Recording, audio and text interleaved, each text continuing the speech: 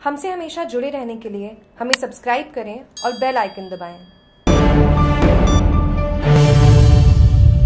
सुमेरपुर उपखंड अधिकारी के रूप में मधुलिका सीवर ने ज्वाइन किया पदभार सुमेरपुर उपखंड अधिकारी का पद पिछले कई दिनों से पड़ा था रिक्त सुमेरपुर में आईएएस देवेंद्र कुमार यादव के गृह विभाग में प्रमोशन होने के बाद रिक्त पड़ा था पद। जैतानंद में एसीएम पद पर कार्यरत मधुलिका सीवर को कार्यवाहक उपखंड अधिकारी सुमेरपुर का दायित्व सौंपा। सुमेरपुर पदभार ग्रहण करते ही मधुलिका सीव ने ड्राइवर व गार्ड का करवाया कोविड सैंपल।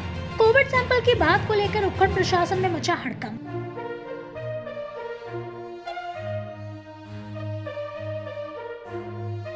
जागरूक टीवी की सुमेरपुर से खास रिपोर्ट।